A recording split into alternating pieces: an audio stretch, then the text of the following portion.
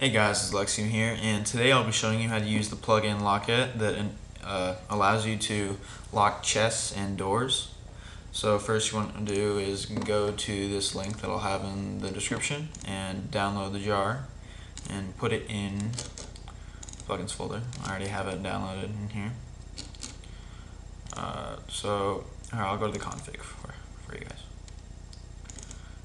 Basically, you really don't need to change anything if you want, like when you open a door that's locked, which I'll show you how to do in a second, it'll automatically close after one second, because I have one. But everything else, you don't really need to change unless you want to change this, the admin bypass. Allows them to bypass uh, like other player locks.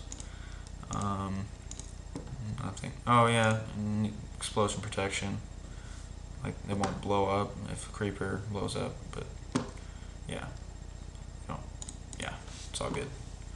And then um, here I'll go to the permissions. Oh yeah, uh, it's a, it's only confirm uh, compatible with these two uh, permissions plugins. That's the only ones. I use Group Manager. Uh, where is it? Down here, right here. This you'll want to have for every single um, group so just put it on the lowest group for the default, or no, yeah, default group. Where is it? Builder. This will probably be where you put it. I have other tutorials on how to use Group Manager, but lockette. Dot user dot create dot that the star. Oops. And that'll give them the permission to required to create a protected container or door yeah, you can lock furnaces, you can lock a bunch of stuff. But uh, yeah, just save that. I'm already the owner, so I'll already be able to do that. But So now I'll show you guys how to do it in the server, how to lock up stuff.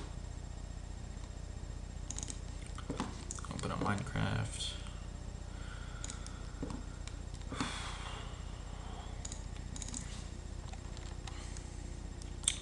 And uh, here's a little shack I made if you want to lock.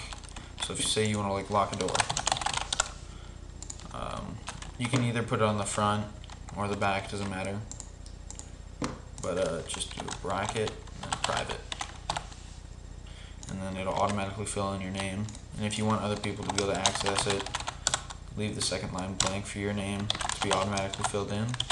And then it'll just, now it'll let Chua also in. He's pretty cool. I like him.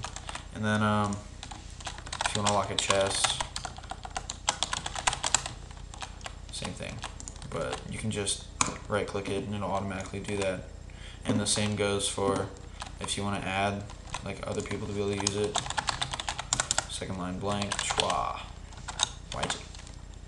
And then I'll let him also into the chest. And then that's the same for crafting to, oh, sorry. Wait. Actually, no, I don't think you can do this. Yeah, no, you can't. But you can do it with furnaces, pretty sure. Yeah. Because you're actually putting, like, valuable stuff in there. But yeah, that's pretty much it. Um, I'll have some new videos out soon. And yeah, I'll have some more tutorials. I might be adding some actual, like, Minecraft stuff soon. But I'm not sure yet, because I need to finish the, the server building and stuff. We have couple of cities we're building right now for each of the guys who joined in. They're going to be my server admins. So yeah, I'll see you guys later. Thanks, bye.